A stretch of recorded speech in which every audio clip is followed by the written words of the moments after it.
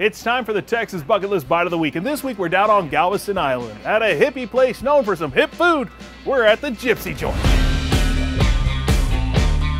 There's nothing like life on the island, and when you stop by this family restaurant on the outskirts of the Strand, it fits right in. Bohemian, hippie, hipster jive here. All the surfers, everybody comes here. Paradise, just like this island. What's it like being on the island? It's awesome. Island time. Paradise. Jordan Weller was born up the road in Webster. The Willie like hair came later in life. Around the time his entire family decided to pack up and roam the northeastern part of the country. But they returned in 2016 to open up the Gypsy Joynt. My mom was home with us and cooking every day and uh, always feeding other families, you know, and, and people go nuts for our cooking. So uh, one day my dad said, you know, we need to make some money on this. Their first restaurant was in North Carolina, and after years of success, something called them back to the Lone Star State. Texas is the greatest place on earth, you know. It was time to come home. So the entire family came back.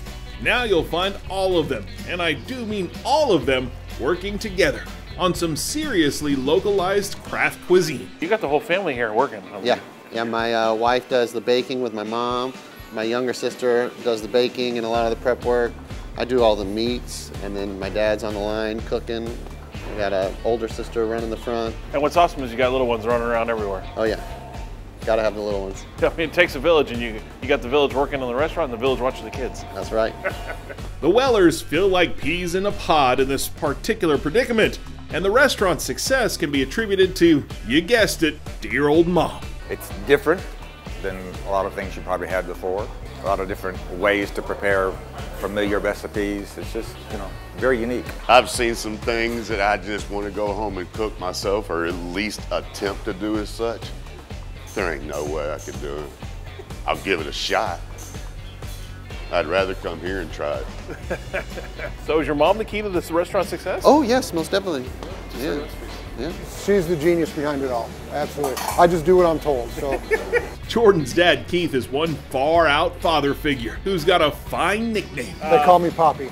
They call you Poppy. Everybody calls me Poppy. Not yeah. Big Poppy, just Poppy. No, just Poppy.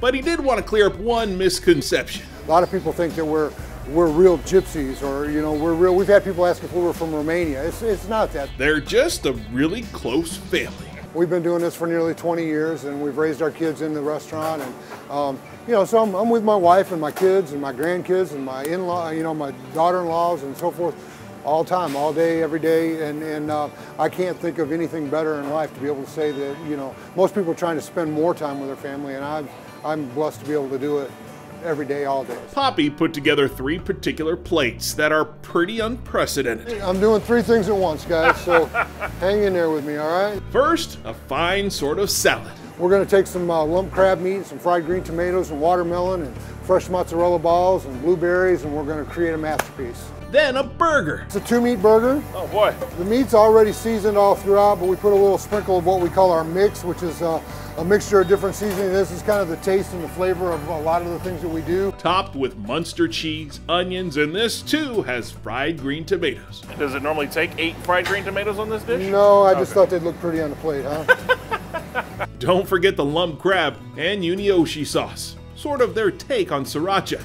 Now things get crazy with a uniquely named hot dog. The puff puff pass. The puff puff. Yeah, you know, when you're craving something, you know, you get a, a hot dog, it's got uh, peanut butter and Cracker Jacks. Mozzarella. I believe it's got mozzarella. And that's good. It's so good. so good. You can imagine when you'd be in the mood for one of those. Somebody told me you were interested in what one of our, our hot dogs is a, called a Puff Puff Pass. Yeah, when we heard about the puff puff pass, we had Puff to. Puff Pass. We had to. We could not pass on that. No, you can't pass on that. Keith takes a fresh baked bun, puts on peanut butter, mozzarella, the dog, bacon, homemade barbecue sauce, and Cracker Jacks. What is going on with the hot dog? Who came up with that thing? My mom. She's I did not expect that. yeah. she neither did we. First up, the salad. Very fresh, light tasting, but then you got that sauce giving it a good extra little flavor there, keeping it all together. And that lump crab meat, just seals the deal. I recommend it. As for the burger, The beef kicks you off with a nice spice, but then you start getting those more subtle flavors of the crab and the cheese. And then when you think it's done, you get the sauce, and it just takes it over the edge. I loved it right off the bat. and finally, the Puff Puff Pass. I have no idea what to expect with this thing. So uh, here's to try new things down on the island. To say it hit the spot would be spot on. Well, when you take your initial bite, it's all hot dog. But the more you chew, the more you get those flavors going around your mouth, the crazier things get. And when you think you're all done, you get a little bit of that Cracker Jack, and it just ends it off with a nice little sweet tinge. It's something to behold. So I can't believe how good this is. this is ridiculous. Oh, get a little giggly. Beautiful. Well, if you're looking for something nice and light on the island, or a big burger topped with crab, or just something that really hits the spot, coming down to the Gypsy Joynt on Galveston Island is well worth a stop on the Texas bucket list. I'm passing this to you. They're a beautiful family. Their food is just one part of it, but it's who they are as a family and what they've been doing for this community. And when you're in Galveston, you're looking for something a little different, and uh, this is the place to be. You'll love it. You're not going to find anything like it anywhere else, not even Austin. Come on down to G-Town, be nice, eat well, and love life.